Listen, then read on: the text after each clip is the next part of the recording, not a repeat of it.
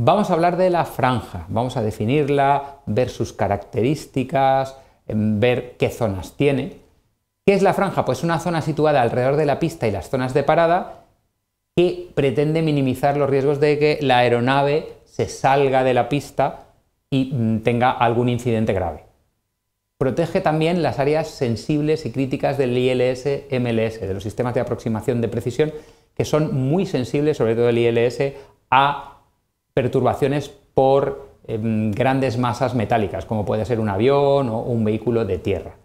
Tiene una porción nivelada más cerca de la pista, de forma que no se desplome el tren de pruebas y la aeronave por lo que sea se sale de la pista. Y para esto también tiene las pendientes limitadas en esta zona nivelada. Y luego además tiene una zona despejada de obstáculos, algo más grande, no acaba de coincidir, para que todo lo que se ubique en ella sea frangible y sea lo más bajo posible, de forma que si el avión se sale no tenga problemas, no choque con nada.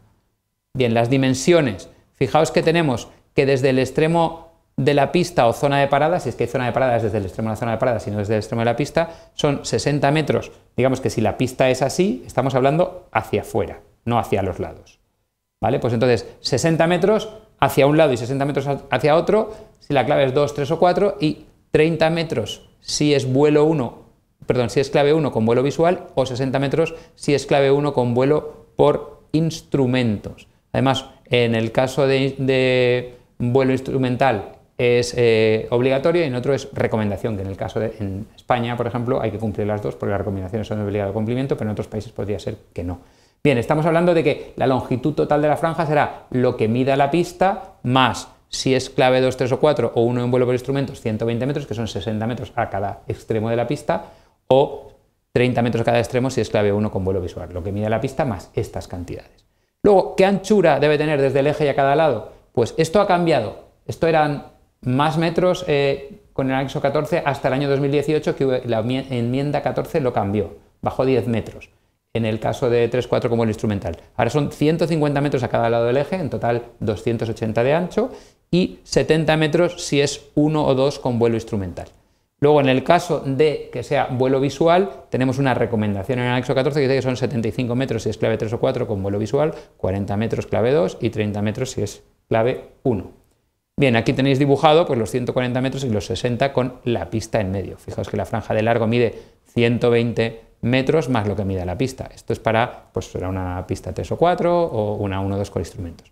Además de esto, dentro de esa franja tenemos una zona en la que no se permiten eh, objetos, excepto ayudas visuales requeridas, que es desde el eje a 77,5 metros hacia cada lado para pistas de número de clave 4, letra F y categoría 1, 2, 3, categorías, o sea, aproximaciones de precisión. Si estamos hablando de 60 eh, metros del eje, tendremos para categoría 1, 2, 3, para clave 3 o 4, pero que no sea letra F, para aviones más pequeños. ¿De acuerdo? Que sean letra A, B, C, D o E. También tendremos para claves 1 2, para aviones más pequeños todavía, y categoría 1, tendremos una zona de 45 metros. Fijaos que eh, esta zona se define solo para aproximaciones de precisión. Las ayudas visuales tienen que tener la menor masa posible y la menor altura y estar diseñadas de forma que sean frangibles, esto es que se rompan antes que el avión si el avión choca con, ellas. Si hay algún tipo de drenaje, hay que estudiar, primero, que no sobresalga, que no se, no se convierta en un obstáculo, y segundo, que puede ser necesario cubrirlo. No es obligatorio, pero puede ser necesario cubrirlo.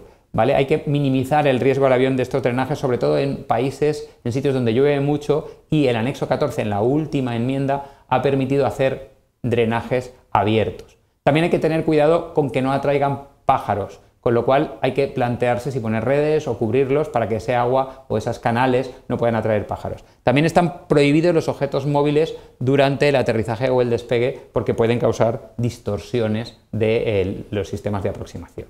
Luego tenemos que además de estar libre de obstáculos hay una zona Fijaos que es un poco más pequeña, esta vuelvo para atrás, era de 77,5 o de 60 y esta es de 75. Bueno, no es un poco más pequeña, depende del caso del avión, puede ser más grande o más pequeña. Entonces tenemos una zona central que son 75 metros cuando el número de clave sea 3 o 4, 40 cuando sea 1 o 2 y 30 cuando sea visual. que tiene que estar nivelada, de forma que si el avión se sale y pisa, pues eh, tiene que soportarlo. En aproximaciones de precisión se aconseja más. De hecho, hay un eh, dibujo, que lo tenemos aquí, que recomienda que, fijaos, que en la zona central vaya a 105 metros a cada lado de la pista. Y también tenemos que lo que se llama el blast pad, que son los 30 metros antes del umbral, tienen que estar preparados para el chorro de los motores, para que no se erosione con el chorro de los motores, porque ya están muy cerca del suelo. También debe ser capaz de soportar el peso del avión, crítico de diseño de pavimento, si es que está pavimentado. O sea, si se haya dado una solución que es pavimentarlo, entonces tiene que ser capaz de soportar el peso del avión crítico por si acaso se sale. Bien, esto ya lo hemos visto y vamos a hablar de las pendientes de la franja. Tiene unas longitudinales máximas que son 1,5% cuando el número de clave sea 4, 1,75 cuando el número de clave sea 3 o 2 cuando el número de clave sea 1 2. Los cambios de esta pendiente longitudinal tienen que ser graduales. Tiene unas pendientes transversales máximas en la zona nivelada de 2,5 cuando el número de clave sea 3 4 y de 3 cuando el número de clave sea 1 2. Y en la zona no nivelada tiene una pendiente transversal máxima ascendente del 5%.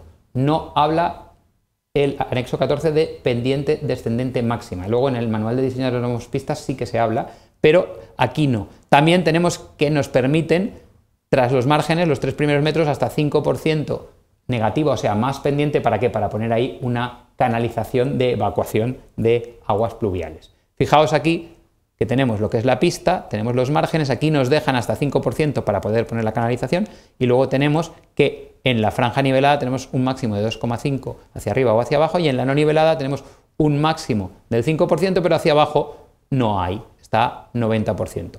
Por eso, en los, creo que es en las Azores, eh, hay un aeropuerto que está en un acantilado, o sea, está en, en, la isla y a los lados tiene dos acantilados ya en la franja no nivelada porque no hay limitación de pendientes hacia abajo. Bien, aquí podéis ver del aeropuerto de Castellón cómo del terreno original hicieron el desmonte, esto es la pista y luego ya pues tenemos la franja nivelada y la franja no nivelada. Bien, con esto termino.